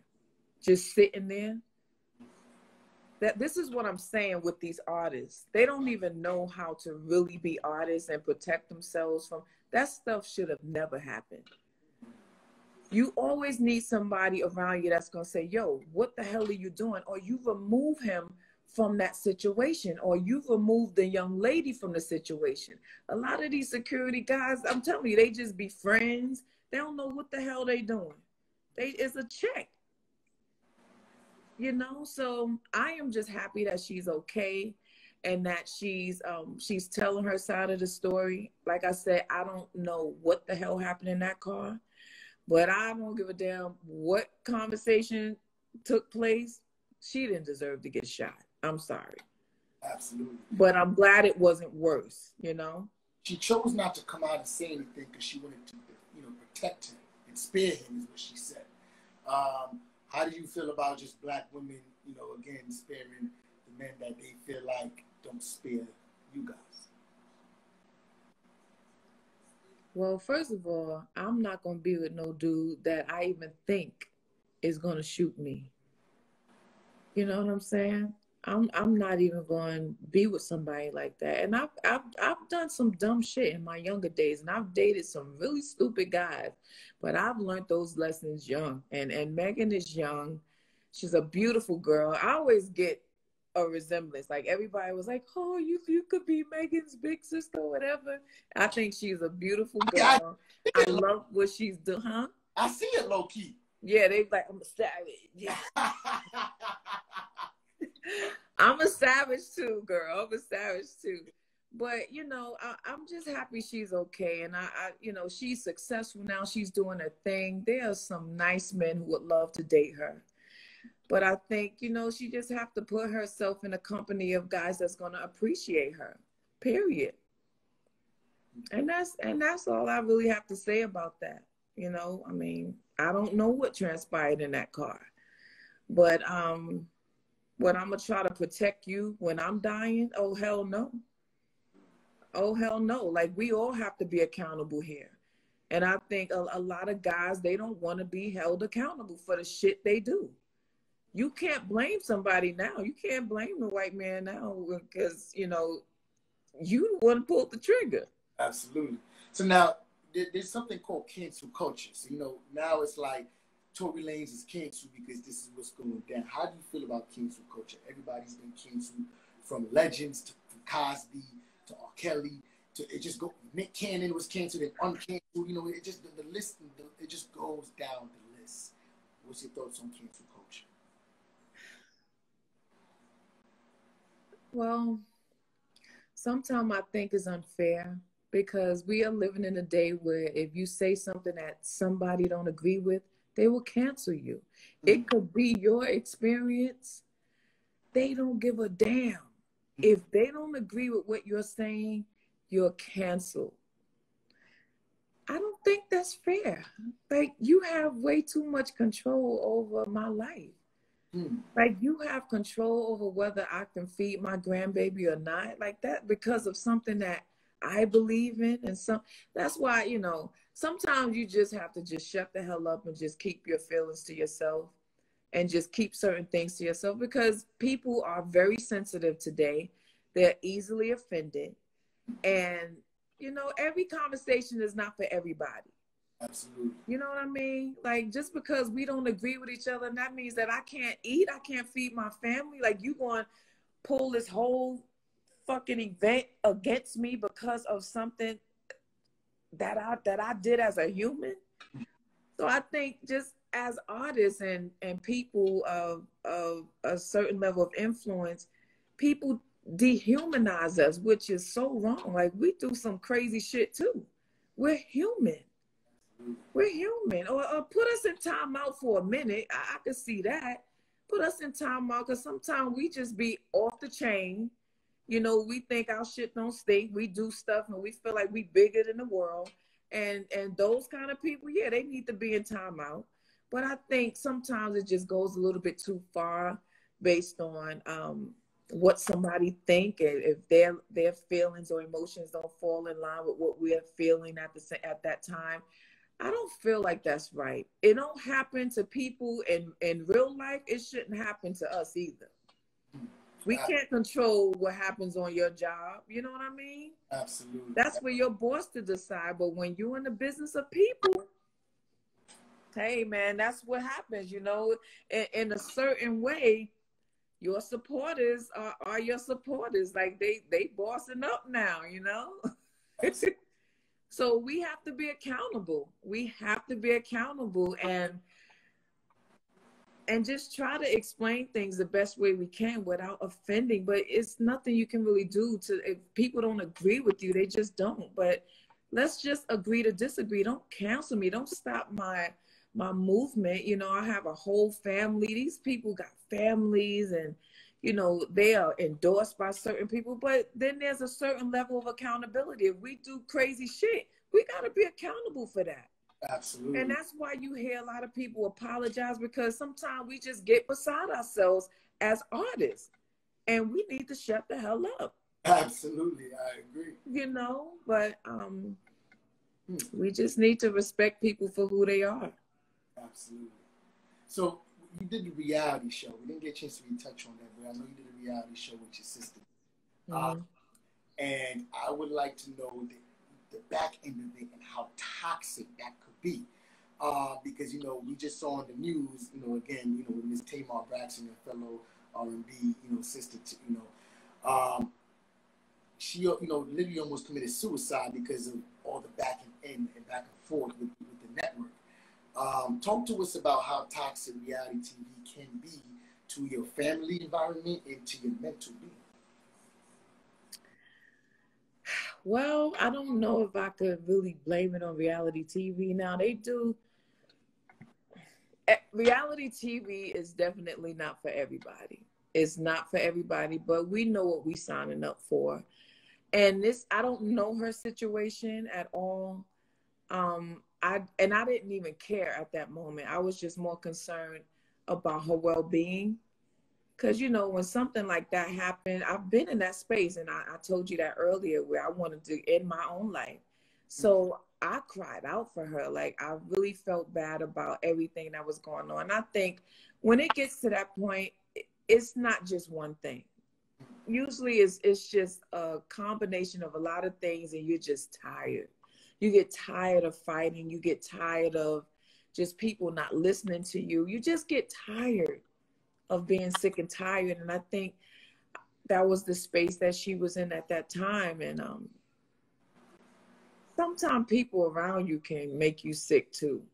And, and i know that was my case. I don't know about her situation but people around me made me literally sick you know um, one thing i know about reality tv if you don't control your own narrative they're going to create one. Mm-hmm. you know and a lot of times it's a reason why they approach certain people to do reality television. Now you don't get me wrong i'm not knocking all reality tv but you just have some who believe that our community just like messy shit you know why? Because we don't support the good shit. But we want to march and we want to, you know, protest and do all of these um what do you call it when they petitions? Yeah, yeah, like yeah. when I remember one petition where the, one of the rapper guys, God bless the dead, I think he passed away. He had he wanted to do a show. He was a father of 13 kids. And everybody signed this petition to not make that happen. Well, um, in my community, I know a dude with 13. We don't want to face the reality. That's not who, that's not everybody's story, and that's not the bulk of who we are. Well, shit, we have uncles that got 13 damn kids. so okay, one of the one of the people said it was Shawty Lo. Um, God bless him. And I think I don't always look at that as a negative thing. Okay, he got 13 kids, but how many baby mothers? But to see a black man, we don't know how that show could have turned out. We just so focused on it. Oh, the black guy got 13 kids, and we don't want that image out. No, but that's somebody's story. It may not be yours. If it's not yours, then go like some shit you like. You don't have to support it, but don't make it bad for. He could have went on there and show how he take care of his kids and and inspired a whole community of black fathers who are deadbeats. Mm-hmm. See, we don't look at that side of things because you the kids are not going anywhere. The kids are here. You know what I mean? But we don't know what he what he wanted to show us. We we don't know if he was celebrating the fact that he had all of these different baby mothers. No, that that probably wasn't even the meat of the story. But I would have loved to see how he handled all them damn kids and father all of those kids. That would have been motivating for me to see I so, got I got two kids and they father ain't shit. So, so, would you get into actually creating? You've been doing reality TV for some years now. Would yeah. Want to start creating some of these stories? Oh yeah, that's that's what that's what that's what I've been doing. I I I, yeah. I love it. Um, I just feel like at this point in my life it's not always about it's not about being in front of the camera but just creating opportunities for people that are good. You know, like I started a podcast called The Powder. Make sure you guys follow the Powder Room underscore podcast. And we're gonna um, be launching soon. So I just wanted to create a space for What's it? What's I'm gonna write it into comments and I'm gonna pin it. The Powder Room Podcast. The okay. Powder Room underscore podcast. Okay. Somebody said my baby's daddy ain't shit either, honey. Ooh, the life we live, ain't that right, boo boo? Underscore podcast. Yep. And it's spelled the same way it's said. Yep, right? the Powder Room underscore podcast. Okay. And you know, I, I just never saw like um a space for women that are, you know, 35 and up. It's really for every woman but sometimes we work so hard and we just take everything so serious sometimes. So it's that moment, 30 minutes to an hour, we're gonna talk some shit, we're gonna have fun, we just gonna be be young again and just talk about everything that make us uncomfortable. It could be anything. We talk about uh now it's it's not for kids, that's for sure, because we're whole grown women. and it's not I have to put that out there. Okay. You know, so it's an adult kind of commentary type thing. So I mean, you the, what you get here is what you're gonna get there, and then some. See, I'm trying to be saved right now a little bit. Pastor okay. done, kicked me out of the church so far. I done, I done threw a few bombs out there, but you know, but it's just a place where we can just come together as older women and just have fun and have some conversation and that's it you know with with so much going on in our lives we just there's never a moment where we can have for ourselves you know we're always with the plus ones of our lives like the kids and the husband and the brothers the mothers and our everyday life become consumed with what they're doing instead of just focusing on us we want to be able to just get our work done and just listen to the powder room podcast and just, you know, just have fun as women. And then after that hour, then we go back to, to being serious. You know what I mean? Wait, so we, talk about the podcast. So who's on the show with you? Well, my girl, the real Nikki Nicole underscore zero, the real Nikki, the real underscore Nikki Nicole zero eight and you guys saw her on Candy Coated Nights, and we have uh, a young lady by the name of Shay Styles, okay. and she was on this reality show called um, oh my god, it's a dating show. I cannot remember that damn. Okay, they said the link is not showing up. The it's the Powder Room underscore podcast. The Powder Room. Oh, I spelled it wrong. I'm gonna, I'm gonna refix it. See, we we gonna cut you. Oh, my bad, my bad. Error. The power.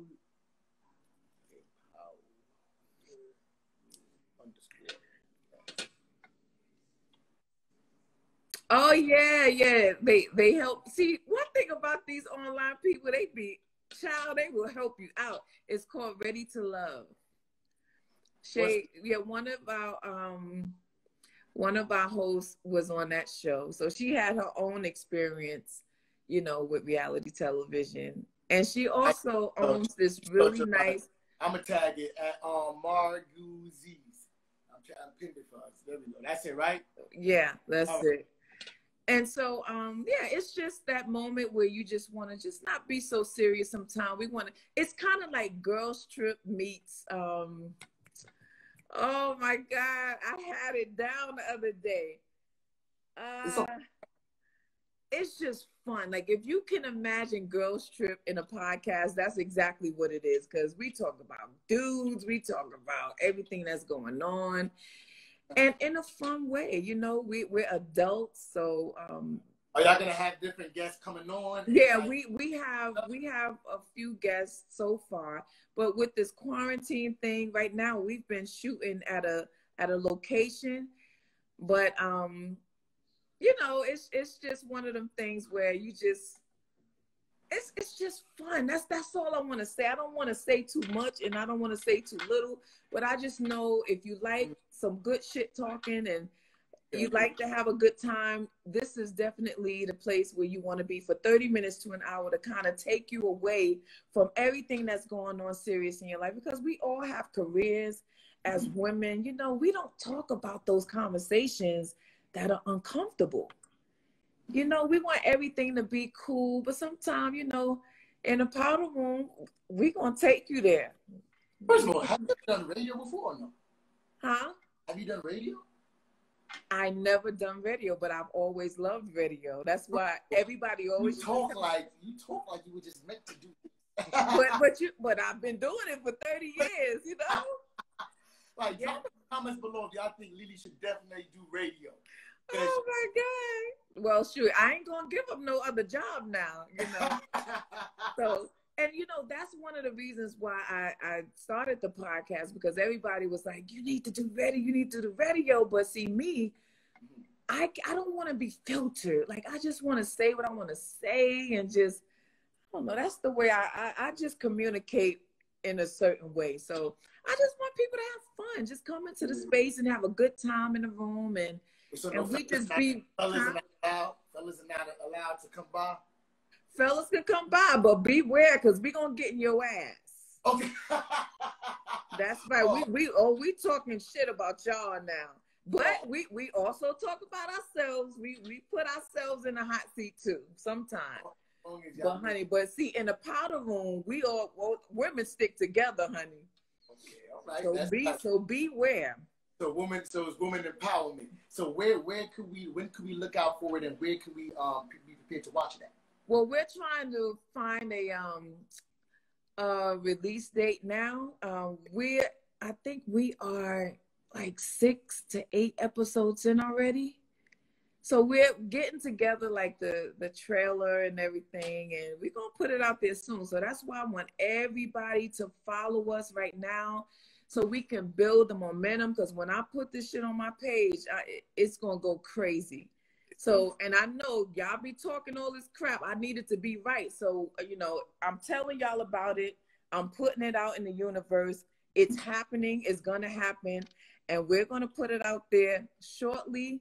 But um, I want y'all to come and support your girl. Yes, we'll definitely be there. Whenever you're ready to launch it, I have another show I do called Black Culture: The Breakdown it's more of like a late night show.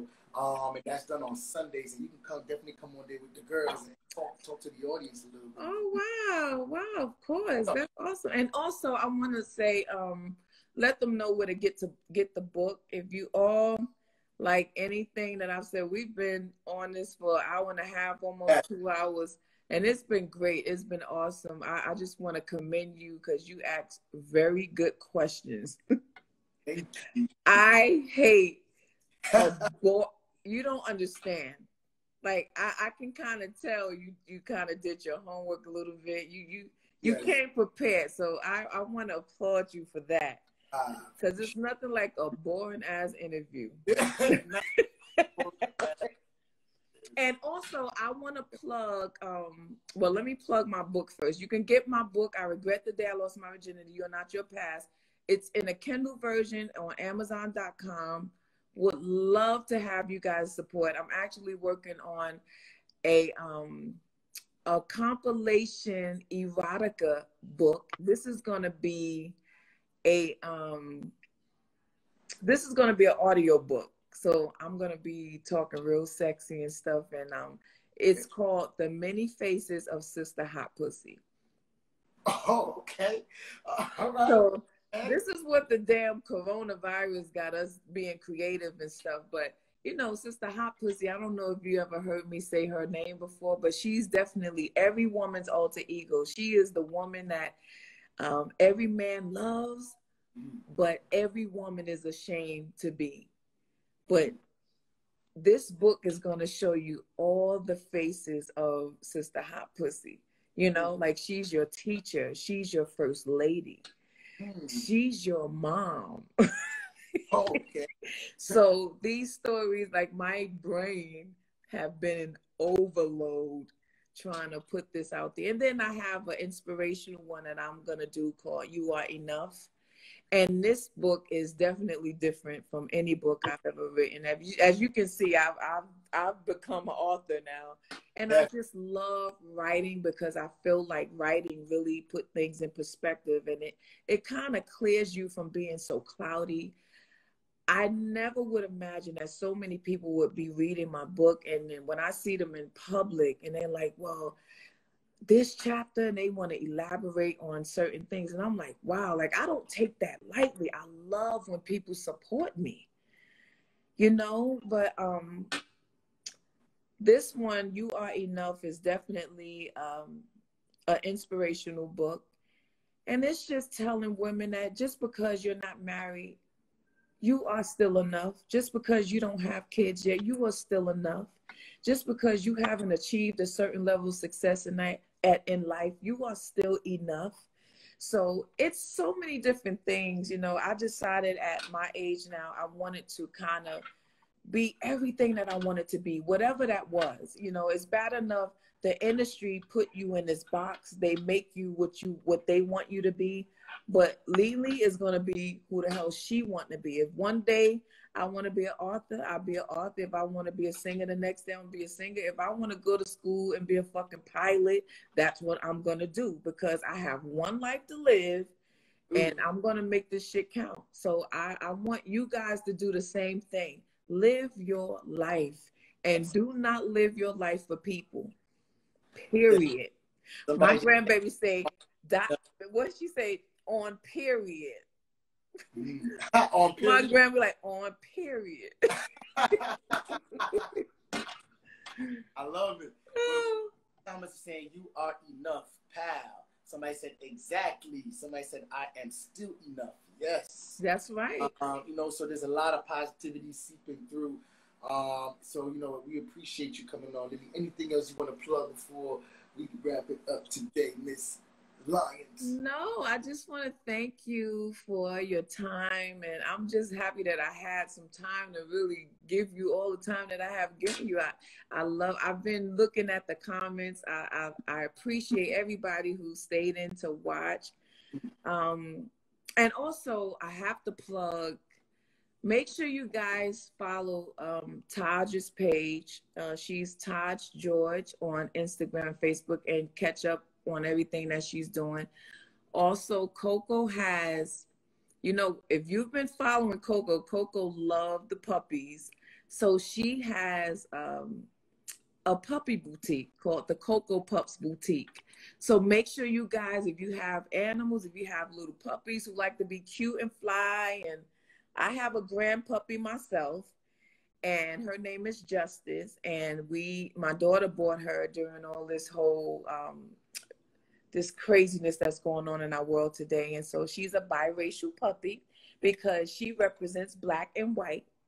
Okay. And she's colorblind. So we call her Justice because of everything that's going on today. So um, we keep her cute in her little Coco Pups boutique gear. So I have to plug that because I actually love the stuff. So okay, okay. All right. Oh, word on the street is right now they just announced it. The next Verzuz battle is Brandy versus Monica. They just dropped it. Get the out of here. they just dropped it. So this is going to be actually real interesting. Oh yeah, that's definitely going to break the internet. that's definitely going to break the internet. I'm uh, excited about that. That this is good. I think it's good for the culture. You know what I mean? Like people, everybody like a good, some good competition, some friendly competition. Even we know that. You know they're they're really good friends and and they're both good sports. They're great at what they do. And shit, I'm gonna be for it all, honey. I'm gonna be in there. well, I'll definitely see you in the comments then uh, for Verzuz Brandy versus Monica. I guess we gotta stay tuned for the details. But thank you so much for coming on and found this conversation, LeLee Lyons. Thank you. you. You are iconic. We love SWV. Thank you so much. And make sure you guys follow um, the SWV page on Facebook and keep up with everything that we're doing. We love you guys. We thank you so much for your support. And hey, y'all, y'all better keep us around for a long time. Like, don't be expired. Don't put no expiration date on us. You hear? Yeah. there is no expiration. Your music is timeless and it will live on forever. Thank you so much, guys. Love you guys. Thank you for having me. No worries. All right, boo boo. Bye bye bye. All right, y'all. So that was LeLee Lyons, y'all, for Founders Conversation. Thank y'all so much for tuning in with your boy Jerzey. Please make sure y'all follow me at The Only Jerzey. We do this every Thursday and Saturday, Founders Conversations, and we bring in different people that are professionals in their field, such as LeLee Lyons. Check out Nigel Barker if you haven't. Also, check out D Woods, Tara Styles, so many other professionals that we've had. Please make sure you guys get into it and see you guys next time. My name is Jerzey, and I'm signing off. Have a good day, you guys.